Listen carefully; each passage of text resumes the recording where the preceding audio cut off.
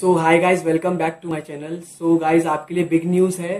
कोमडेक जो कि कर्नाटका का अंडर ग्रेजुएट एंट्रेंस टेस्ट उसको पोस्टपोन कर दिया गया। आज, जो उसके एग्जीक्यूटिव सेक्रेटरी हैं एस कुमार, उन्होंने टाइम्स ऑफ़ इंडिया में ये बोला। उन्होंने अनाउंसमेंट किया कि कॉमडेक को हम पोस्टपोन कर रहे हैं। जो कॉमडेक की इनिशियल डेट थी, वो थी टेंथ में।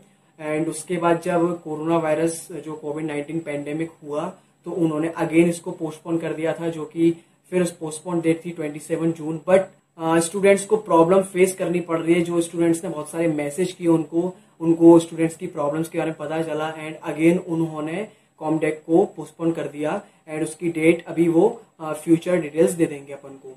ओके सो उन्होंने बहुत सारी प्रॉब्लम्स को बारे में डिस्कस किया जो कि स्टूडेंट्स को फेस करनी पड़ेंगी अगर एग्ज़ाम हुआ. लाइक like, बहुत सारे ऐसे एरिया हैं जहाँ पर कॉमडेक का सेंटर नहीं है। सो अगर स्टूडेंट ट्रेवल करेंगे एंड बाई चांस ट्रेवल में उनको कोरोना वायरस हो गया तो इसकी ज़िम्मेदारी कौन लेगा? सो so, बच्चों को वो बिल्कुल भी प्रॉब्लम देना नहीं चाहते। सेकेंड अगर वो बाई चांस फीवर आ गया उनको या फिर कोई भी हेल्थ से रिलेटेड प्रॉब्लम हो गई उन स्टूडेंट्स को सो so वो अदर कॉम्पिटेटिव एग्ज़ाम में पार्ट नहीं ले पाएँगे। इसीलिए उन्होंने इन सब प्रॉब्लम्स को देखकर ये डिसीज़न लिया।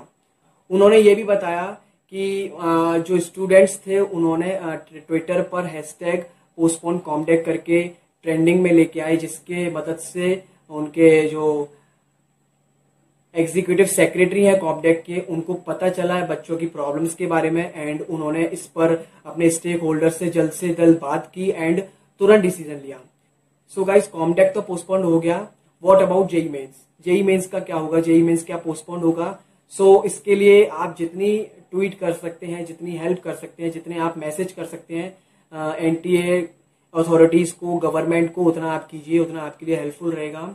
उन्होंने ये भी बताया, जो एस कुमार एग्जीक्यूटिव सेक्रेटरी हैं कॉमडेक कर्नाटका के, उन्होंने ये भी बताया कि बच्चों को बिल्कुल भी प्रॉब्लम नहीं होगी। उन्होंने सिटीज़ में जो सेंटर्स थे, उनको भी बढ़ाया है एंड जो सेंटर्स में सीट है, वो केवल 50 परसेंट कंज्यूम होगी। मतलब उन्होंने सोशल डिस्टेंसिंग का पूरा अरेंजमेंट करके रखा हुआ है।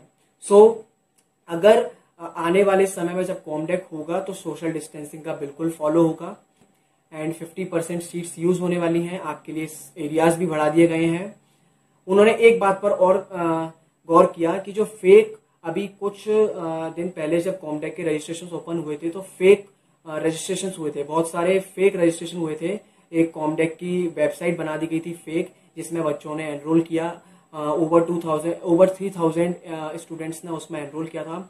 सो so, उसके ऊपर भी वो बात करेंगे उसके ऊपर उस डिस्कस करेंगे एंड उसका भी आपको सॉल्यूशन प्रोवाइड करेंगे। सो जेई मेंस के बारे में हम आपके लिए लेटेस्ट अपडेट लाते रहेंगे। पोस्टपोनमेंट होगा क्या? जेई पोस्टपोन होगा क्या? सो so, इसी के साथ हमारी वीडियो को एंड करते हैं। अगर वीडियो को अगर वीडियो आपको पसंद आई तो गिफ्ट थम्स अप लाइक करें शेयर करें। चैनल को सब्सक्राइब करना ना भूलें। एंड अगर आपको कोई भी डाउट हो मेरे को आप इंस्टाग्राम पर डीएम कर सकते हैं। आप कमेंट बॉक्स में कमेंट कर सकते हैं। सो so, तब तक के लिए बाय बाय मैं ऐसी न्यूज़ लाते रहूँगा सो so चैनल को सब्सक्राइब करना ना भूलें। All the best